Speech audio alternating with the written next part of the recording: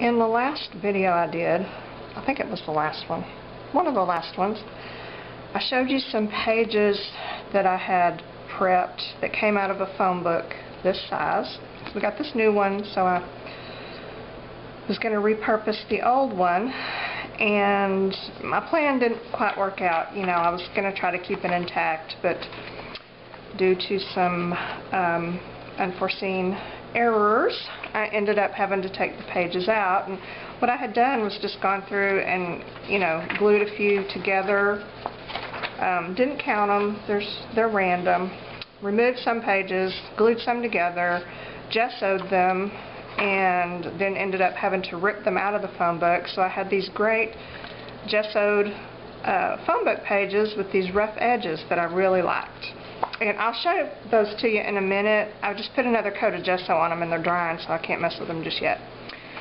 But I didn't really have a plan any further than that for those pages and I finally came up with one. I ended up having to cut them down more than I intended to, but I think I'm liking where it's going so far. I may totally change my mind, but um, you know, for now I'm going with it.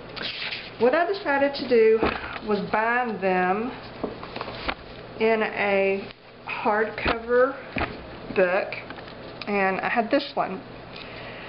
And I looked at several different binding options, you know, stitched bindings and some other different things, and because of the size of the pages and because of, you know, they're stacks of thin paper glued together and gessoed, they're kind of brittle, you know, they don't fold well, so they needed to have a loose leaf binding.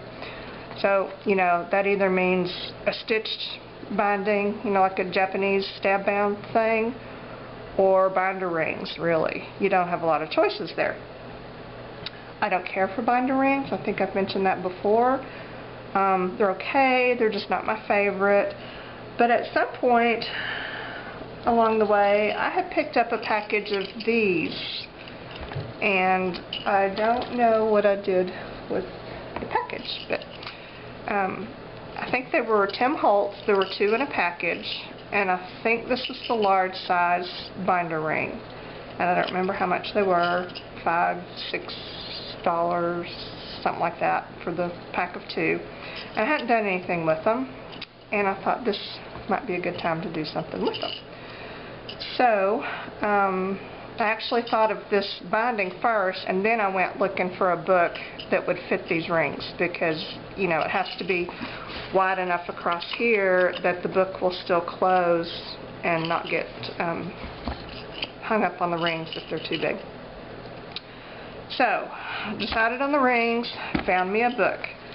Cut the book block out, you know, just along there. It was an old book. Pages are kind of narfed up and brittle, so it came out pretty easy.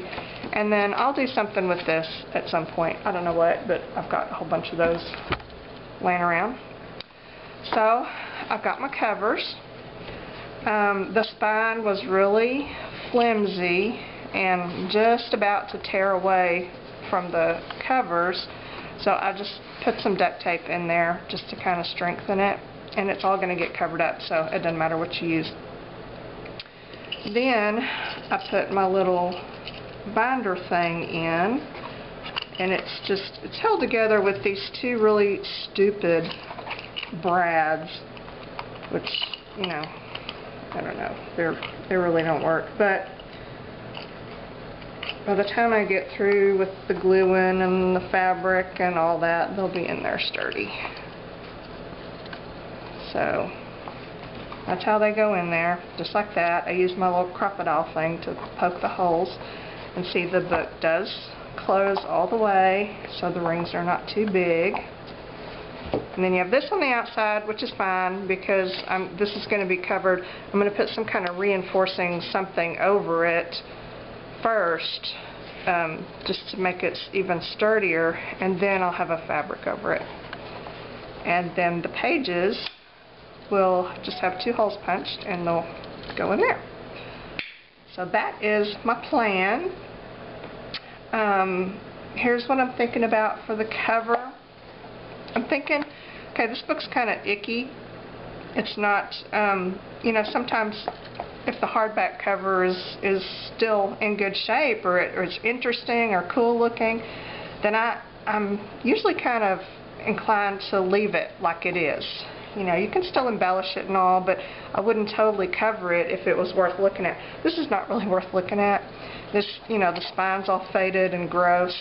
So I think um, what I'm going to do is just completely cover it with fabric. In fact, I'll probably gesso it first so that none of the ickiness ends up showing through. But um, I decided I wanted to cover it with fabric and I'm probably going to end up using wet media on the pages because they are nice and heavy and gessoed so they would be really good for painting on. So for my cover I wanted something bright um, you know something that I could get paint on and it wouldn't make that big of a difference. So I remembered all of these batik fabric pieces that I had when I bought years ago for something, I don't even know what.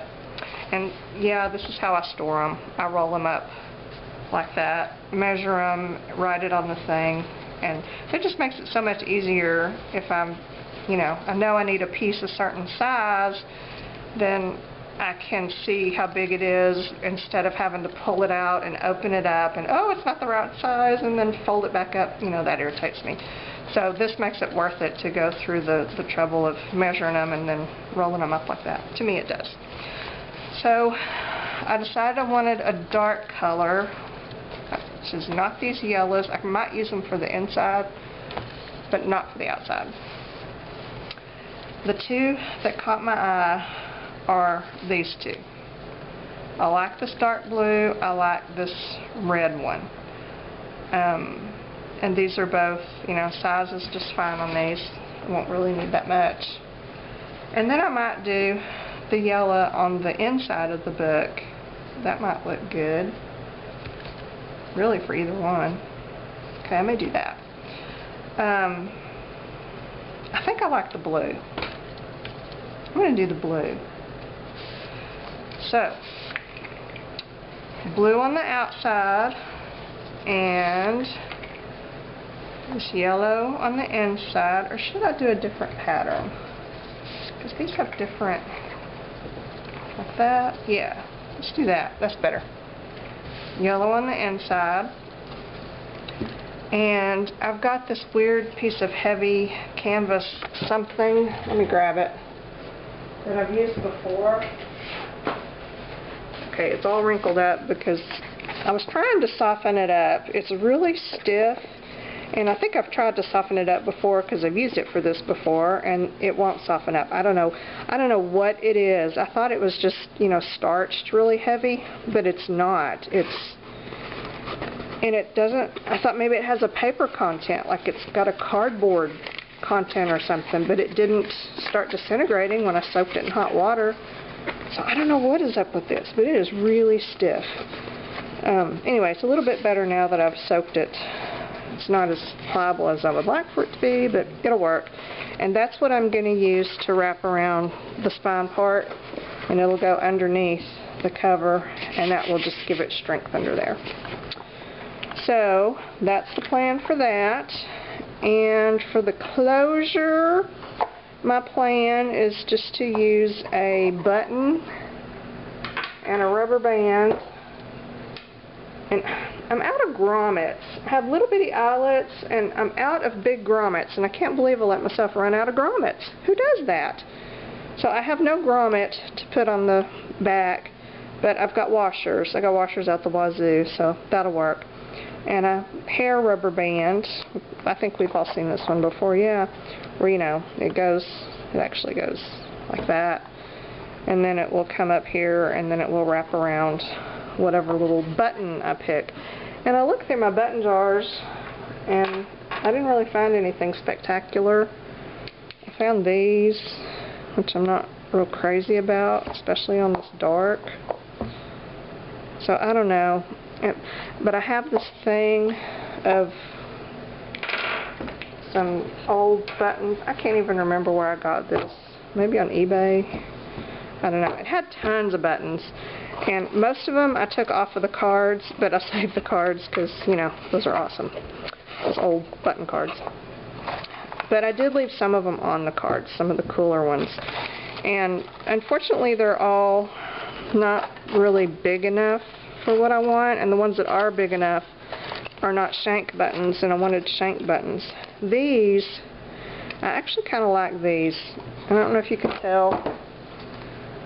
They're a, a blue, a dark blue. So, you know, they don't stand out off of the blue fabric, but they go really well. So these, and they're shank buttons. And look, they've got the little um, doodah already, which I can use to attach them. So these, actually, I might use those. So, I don't know. We'll see. We'll see how it goes. I'm going to go get my papers together, and I'll kind of put it together a little bit to give you an idea of what I'm thinking it's going to look like, and then we'll go from there. So, be back in a sec.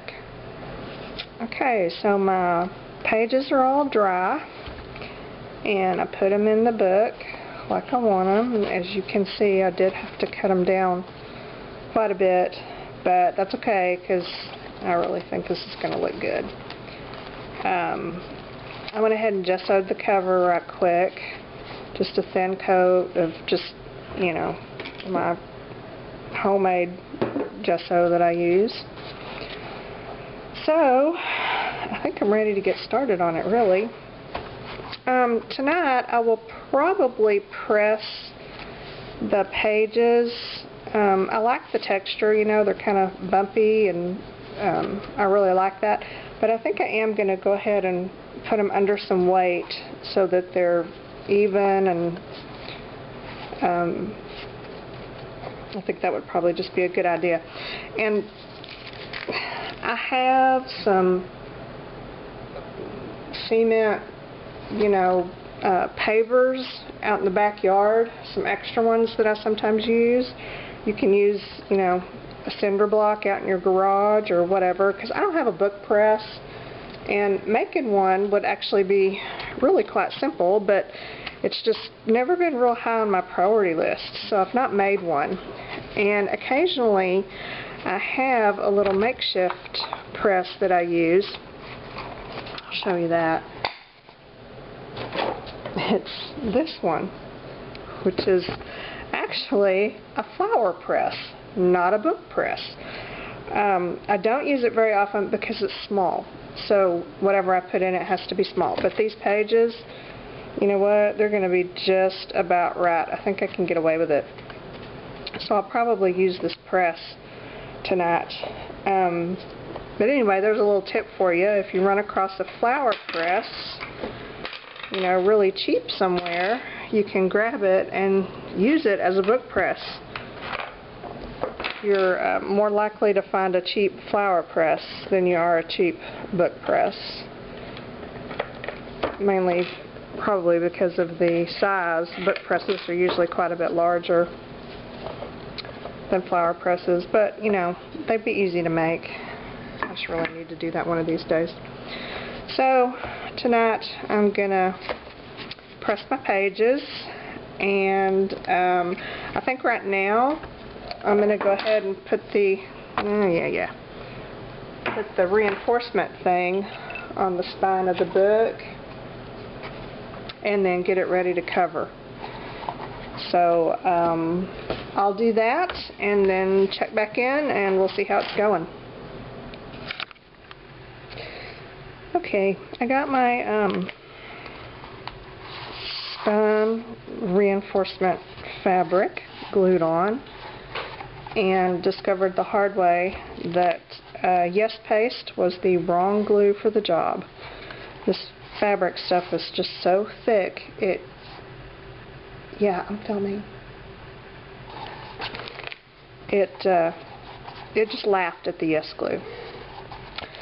So I ended up using this Fabri-Tac. Um, super sticky, dries really really fast. Um, it, it worked perfectly.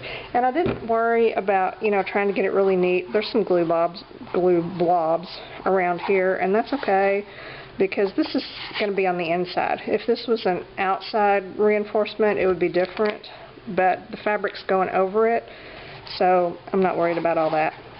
But the point was to get it stuck down and to reinforce the spine, and mission accomplished. So there we are.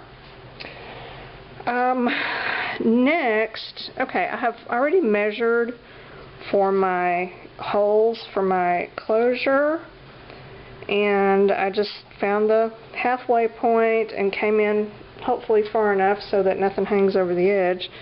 I'm going to poke a hole right there for my button and then I'm going to poke a hole right here for the the washer. It'll be on the other side, but that'll have the um, rubber band coming out of it. And I think I'll go ahead and do that. And I just had to um, give my hole poker here. I never can remember what this is called. Uh, does it say on here? We R Memory Keeper. Oh, here we go. Crop-A-Dile. Crop-A-Dile 2 um, I had just had to give it a little treatment because it was getting sticky. It, you know, I would push down and it wouldn't come back up all the way. I had to pull it up.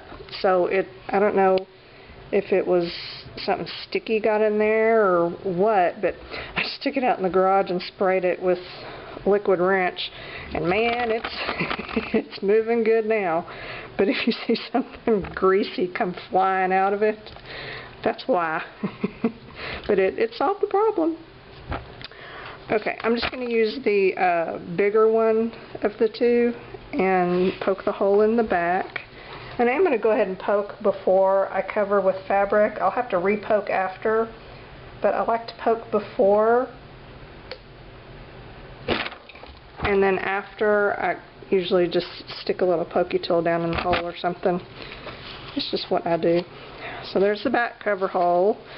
And the front cover hole, I think I'm going to use the small one. See if I can get away with that. I don't know. Uh, let's see.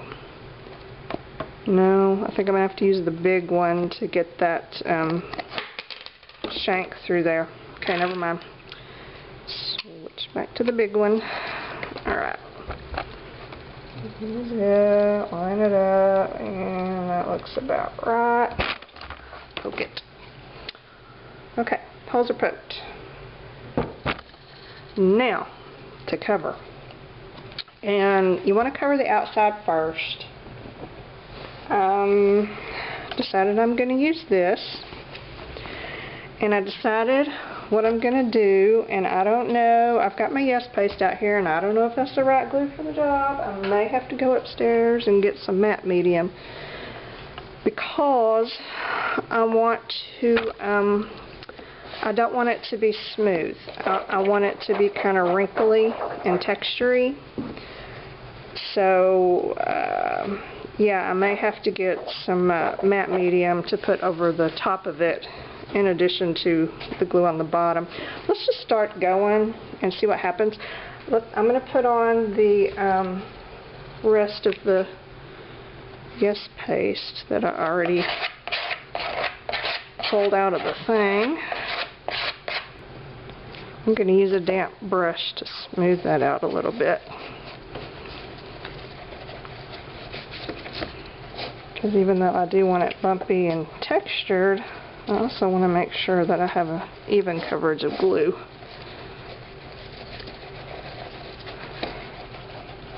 Alright, now let's see how this goes. I'm just going to use the whole dang thing.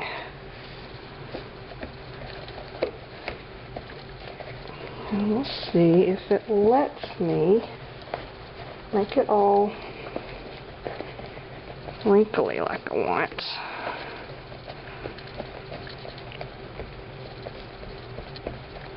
Well, so far so good.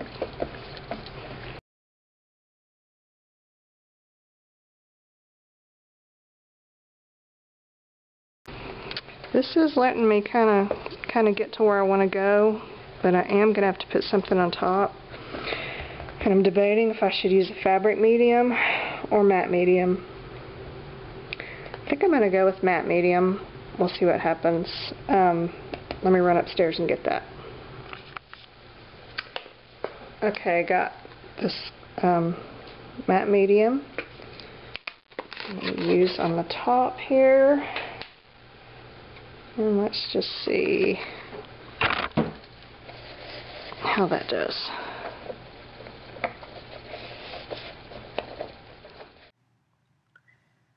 I just kept adding more uh, matte medium and squinching up the fabric. You know, squinch, that's a combination of squish and scrunch. That's squinch. Past tense would be squanch. You better write that down. You know, somebody's going to need to know that at some point, I'm sure of it. So it's looking good and squanched.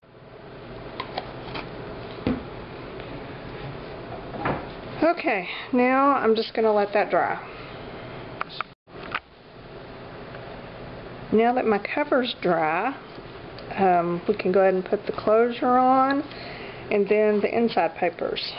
And I've already stuck the button on and let me tell you what, I had to fight with it because the shank is really not long enough for this. It needed to have a longer shank. Um, but it was the perfect button. I really wanted to use it, so I kind of made it work. I had a really hard time getting the jump ring through the shank, but I got it.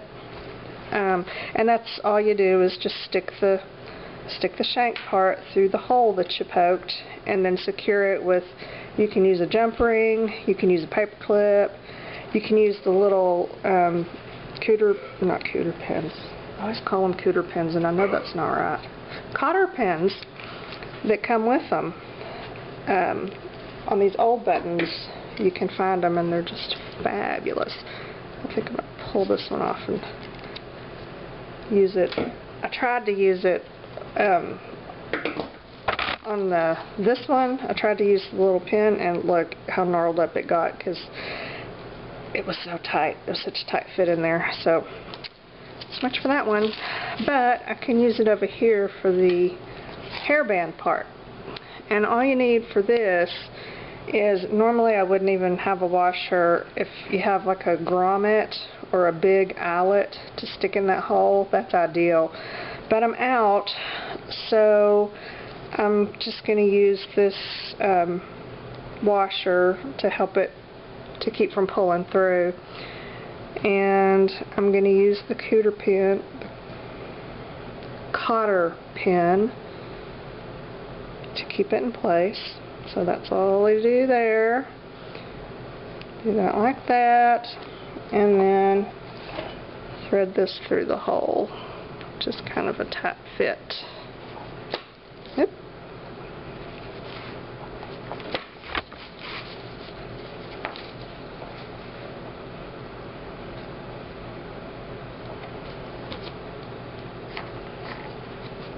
There we go. So there you have it. That is not going anywhere. And now, and like I said, this is a tight fit. I normally like to have a little more room underneath the button for the elastic to go around, but it will go around with a little help. There we go. It will work. Um, and I just like that button. That button's too perfect not to use. So I think it's going to be just fine. Now, it's time to put the inside fabric on. And, you know, when you do this, um, you can use liquid starch, you can use um, fabric stiffener, you know, there's there's a variety of different things that you can use to make your fabric all squinchy like this, but I don't have any of those on hand, so I'm just kind of using what I got, and what I got is uh, matte medium and some Yes Paste, and it's working, so we're good. What I am going to do before I start anything else is I'm just going to take a little piece of duct tape and just put tape over these lumpy areas just to kind of smooth them down so when I put the fabric over it there won't be too obvious of a lump there. This one will be because of the washer, but that's okay. Not that big of a deal.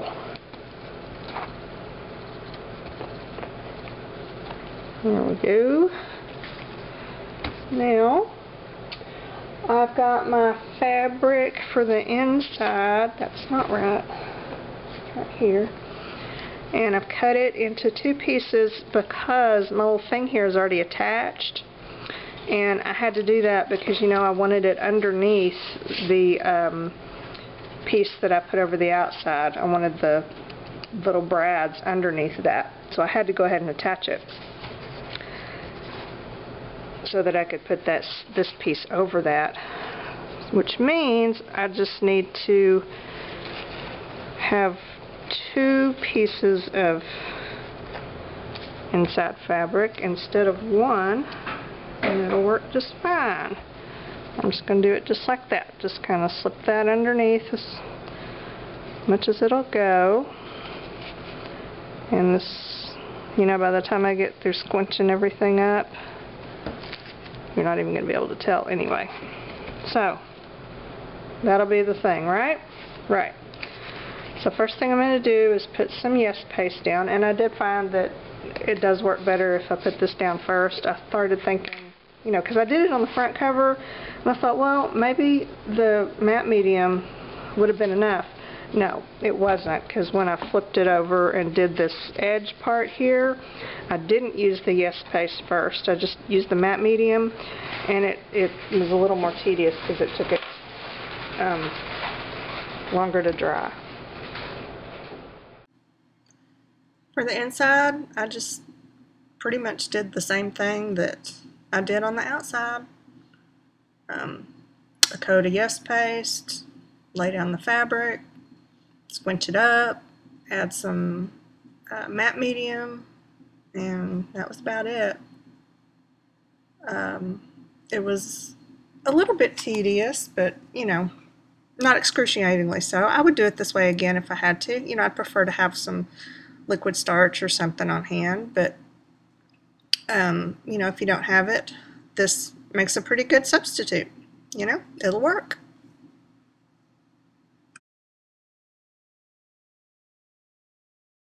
Okay, now that I've got my inside cover pretty much the way I want it, I'm going to let that dry and then we'll stick some pages in there.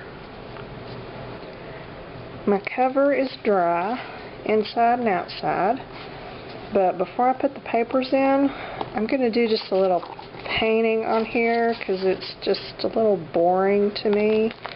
I did a little bit on the inside just added some pink and some blue here and there. I know you probably can't tell because it was so busy to begin with. But that's kind of what I want to do on that outside too. And I'm just going to use some of these fabric paints that I've got. They're kind of thick and should brush on nicely. So, let me grab a paper towel and I'll do that. These paints ended up working really well because they're so opaque. So um, they showed up really well on the dark fabric and you know I just loaded the brush and kind of brushed and blobbed it on. Um, I didn't paint any designs or anything. Just I put the pink in the low areas and then just hit the high spots with the yellow. And I think it turned out great. I'm calling it done. Uh, I think it's finished and I like it and I'm really actually I'm really happy with the way it turned out. I've got uh, put my little pages in. Oh, and I already did a page last night. You know, I had to test it out, so I just doodled the little flower page. But took the rest of my pages out of the squisher, you know, the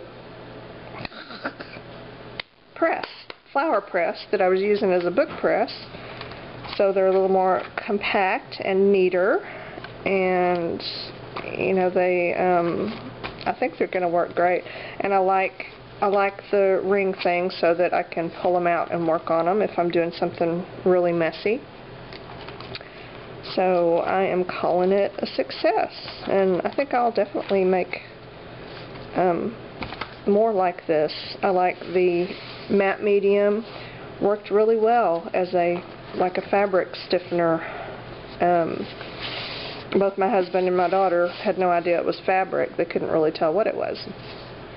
So it, it turned out really well. And uh, I like the pages. I like the closure. I like everything. So, yay, calling it a success. Uh, when I was painting, and last night I used the same paints that I used on here, you know, those little fabric paints. I used those to paint these flowers, and then I went over them with just some uh, markers, India ink markers, just for, you know, kind of a doodle page. But when I was painting, I had the paint out. I just squeezed it out on some of the waxed paper that I had used when I was uh, gessoing all those pages. You know, I just had this big stack of wax paper that's got gesso all over it because here, here you can see.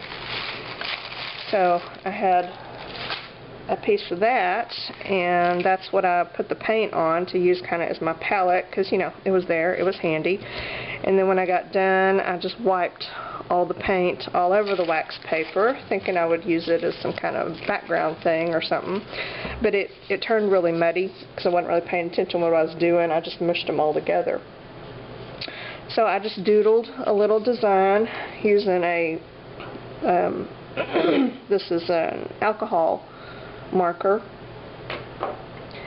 And doodled on it and then I've been taking my um, markers, you know, these India ink markers, PITT, PITT pens, and I've been coloring in, which, you know, covers, I've done this side right here, so you can see it kind of covers up some of the muddiness but that muddiness makes a good base for the markers to hold on to because, you know, on plain wax paper, there's nothing for them to hold on to. They don't really work. So it kind of makes its own little primer there. And so I'm going to finish coloring in and then doodle in some black, more black lines for details. And then, I don't know, I'll probably stick this in one of my big art journals and um, make a journal page out of it or something.